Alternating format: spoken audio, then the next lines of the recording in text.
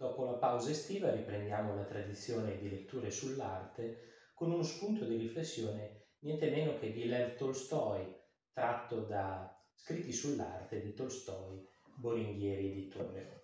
Scrive il grande russo, nel nostro tempo l'uomo che desidera occuparsi d'arte non aspetta che nella sua anima sorga un contenuto importante e nuovo che egli possa amare veramente e amandolo rivestirlo di forma adeguata, bensì prende uno dei contenuti più correnti in un determinato periodo e più lodati dalle persone che egli considera intelligenti e gli dà, come meglio sa, una forma artistica.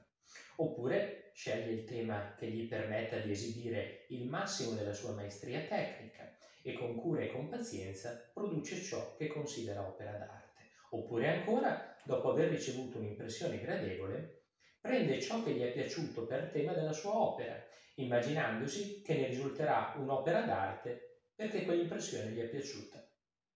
E così ecco una quantità immensa di cosiddette opere d'arte, che possono essere prodotte come un qualsiasi lavoro da mestierante, senza la minima interruzione. Idee correnti, di moda, esistono sempre nella società.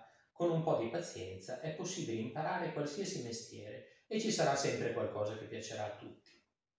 Da ciò è nata nel nostro tempo la strana situazione per cui tutto il nostro mondo è ingrombolo di opere che pretendono essere opere d'arte, ma che invece si distinguono dai prodotti degli altri mestieri solo in quanto non servono a nulla, anzi spesso sono addirittura dannose.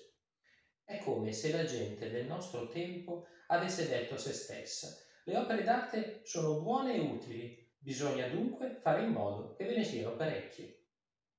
Infatti sarebbe molto bene se ve ne fossero molte, ma il guaio è che su ordinazione si possono fare solo opere che sono abbassate al livello di mestiere.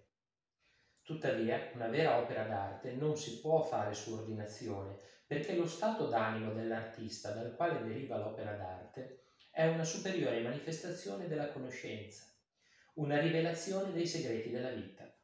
E se questo stato è una conoscenza superiore, allora non può esserci un'altra conoscenza che possa guidare l'artista ad acquistare questa conoscenza superiore. Una riflessione di Lev Tolstoi, francamente ancora oggi attuale.